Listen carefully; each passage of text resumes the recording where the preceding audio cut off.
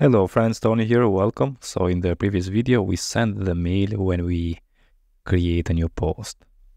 So here when we, let's register and create new post. When we create, we send a new mail to this user. We use that uh, mailtrap.io for testing, but the idea is so when we create new post, it's going to take some time because it's going to send that mail here. Okay, that is okay, but we can do better. What we want to do is in this video, that when we create a new post, that post is going to be created immediately and then on the background, I want to send the email. And how we can do that? Using a job. So let's open the terminal and let's create a new job. I'm going to zoom in this, open the terminal, and here I'm going to say PHP artisan or art in my case, make colon job and give it a name. So I'm going to name it a uh, send new post mail job. Okay, hit enter. You can name it what you like. Now the job inside the app jobs and with that name created successfully good. If we open that, so send new post mail job, we have here two methods create a new job instance and the handle to execute the job. So here when we have to execute the job, what I'm going to do, I'm going to go to post controller and instead of sending the email on the post controller, I'm going to cut this and move to the handle method on the job. So the job is going to send now the mail. We just need to execute the job. So first let's import the mail on the job and also the post mail. Now here we have the auth user email, but uh, instead of this one, I'm going to, on the construct, I'm going to say public array dollar sign incoming. We're going to put here the email and then in here we can say just dollar sign this incoming and get the email. Also the name instead of hard coded i'm going to put on the construct of when we call this send new post mail job. And just say dollar sign this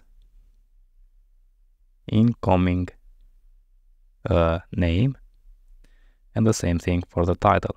So dollar sign uh, this incoming title. So we need to add the email uh, name and the title when we call this send new post mail job.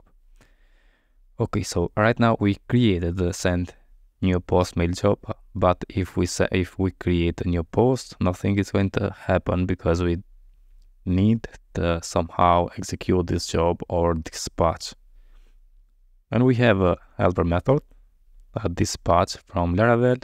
Okay, and here now we need to put a new send uh, new post mail. And in here now we need to add the incoming data, which is email, name, and the title. Okay, so let's do that. Let's add an array with the email and the email is going to be auth user email okay? Then the name.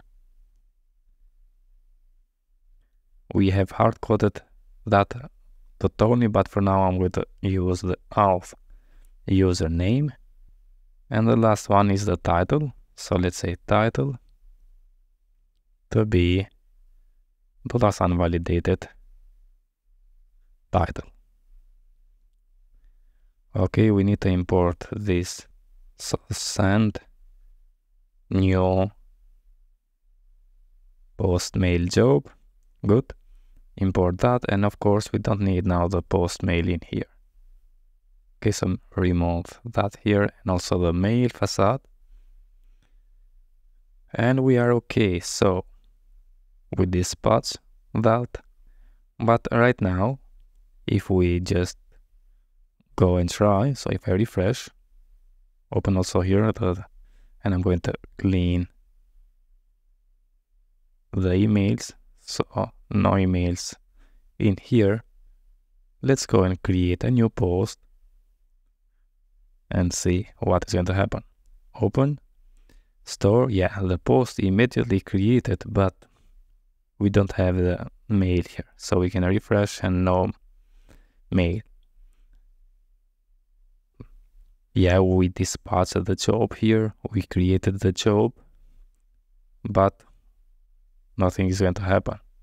If we open the TablePlus, we have here jobs. And if we refresh on the jobs table, we have a new job, as you can see. The GUI is uh, default, we have a payload and so on we need somehow to tell Laravel to work with these jobs. And how we can do that? First, if I open the .env file, we have here queue connection to database and you may have that the sync. So if I leave the sync and let's go and create a new post. Okay, so change the queue connection to sync, save on the .env file, and let's create a new post. Now on the jobs table, we have only one job, as you can see. If we say store, it's going to take some time because it's going to send, it's going to execute that job. And then, yeah, we have the email here on the database we have only one what we had before so the job works but we want the immediately to create a post and then on the background send that job so for that we use here database instead of sync and on the terminal now if I open the terminal we can call the PHP artisan queue colon work, work and hit enter. As you can see, immediately it's going to send a new post mail job. It's going to listen for that. It's, as you can see, running and then now it's done after two seconds. If we see now, if I refresh, yeah, the jobs has no job in it because one we had and that is being executed. Now if I open the mails, we have here a mail. Let's clean this. So right now we don't have any job, any, sorry, any mail here. Also, we don't have any job on the database jobs table. Let's go and try to create a new post. Let's use fake filler choose uh, image and you can see immediately is going to create the post and on the background is going to run that job and send the mail. So let's say, yeah, the post is created immediately and then the mail is being sent. Okay, because we use that PHP Artisan queue work and we use the database queue connection. Okay, this is what we want. We want to immediately create the post. Don't wait for the email to be sent when we create the post. So the email is going to be executed from the job on the background. One more time, let's try. Create a post. Store immediately created and then after some seconds, the email is going to be sent through the job.